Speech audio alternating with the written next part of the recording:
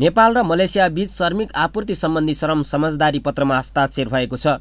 सोमबार काठमाडौँमा आयोजित विशेष समारोहमा श्रम रोजगार तथा सामाजिक सुरक्षा मन्त्री गोकर्ण विष्ट र मलेसियाली मानव संसाधन मन्त्री हमकुला सेगरानले उक्त समझदारी पत्रमा हस्ताक्षर गर्नुभएको हो। दुई देशका उच्च अधिकारी बीच भएको यस समझदारीसँगै छ महिनादेखि रोकिएको मलेसियाको रोजगारी खुल्ने भएको छ।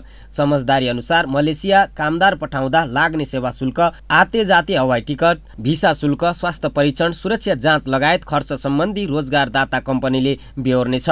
सम्झौता अनुसार कामदारले लेबी पनि लिनु पर्दैन भने करार अवधि तीन वर्ष रहँदै आएकोमा घटाएर दुई वर्ष बनाइएको छ।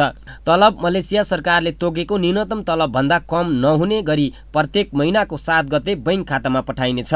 त्यसै गरी कामदारको परिवारका सदस्यको मृत्यु भए पन्ध्र दिनका लागि नेपाल आउन पाउने मलेसियामा रहेको नेपाली दूतावासलाई कामदारको अङ्गभङ्ग तथा घाइते भएको जानकारी गराउने कामदारको मृत्यु भए सब रोजगारदाता कम्पनीले पठाउने र महिला कामदारलाई विशेष सुरक्षा प्रदान गर्ने विषयमा समझदारी भएको श्रम मन्त्री विष्टले जानकारी दिनुभयो। करार अवधि दुई वर्षको व्यवस्था गरिएको छ। contract period has been made two years.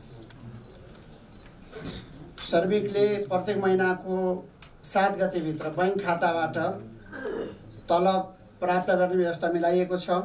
The MOU has ensured that the laborers will get uh, salaries and benefits within the seventh of the month, seventh day of the month. Malaysia सरकारले तोकेको न्यूनतम पारिश्रमिक भन्दा कम नहुने गरी तलब भत्ता एवं सुविधा पाउने सुनिश्चितता गरिएको छ MOU also has ensured minimum wages for the workers that has been determined by the government of Malaysia. र यसै गरी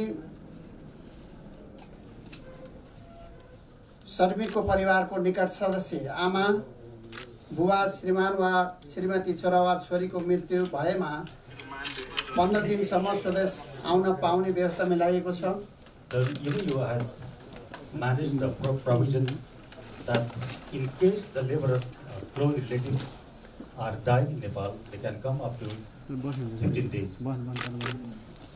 Family, close family members. महिला कामदारको सन्दर्भमा यो समझदारी पत्रले विशेष सुरक्षाको व्यवस्था समेत मिलाएको छ।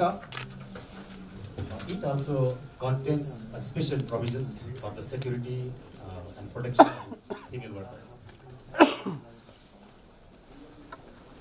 र यसै गरी Similarly, मलेसिया सरकारले बिमा सम्बन्धी नयाँ योजना लागू गरेमा सो नेपाली कामदारलाई समेत लागू हुने व्यवस्था गरिएको छ। त्यस्तै मलेसियाका मानव संसाधन मन्त्री कुला सेरगनले कामदार लिने पठाउने दुवै देशमा रहेको प्रक्रियालाई यो समझदारीले थप मर्यादित सुरक्षित र प्रणालीगत ढङ्गको बनाउने जानकारी दिनुभयो उहाँले नेपाल सहित नौ देशसँग मलेसियाले यस्तो समझदारी गरेको बताउनुभयो with the with the MOU signed with other countries. As of today, the government of Malaysia has signed MOU with nine source countries such as Sri Lanka, Vietnam, Thailand, Pakistan, India, People Republic of Bangladesh, Republic of Indonesia, Cambodia, and your good country, where we have signed two uh, two MOUs for the informal sector, domestic workers, with Republic of Indonesia and Cambodia. Besides that, the purpose of having the MOU is to avoid any forced labor elements and trafficking in person activities. This agreement will also improve the diplomatic relationship within the both countries.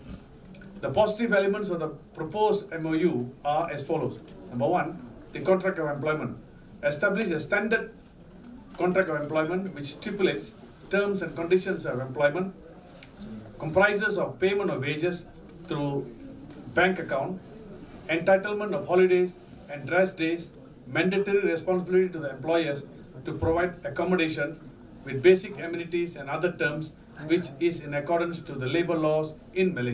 समझदारी अनुसार कामदारको स्वास्थ्य परीक्षण तथा सुरक्षा क्लियरेन्समा लाग्ने शुल्क तत्कालका लागि रोजगारदाता कम्पनीले बेहोर्ने र मलेसिया पुगेपछि कामदारको पहिलो महिनाको तलबबाट कट्टा गरिनेछ।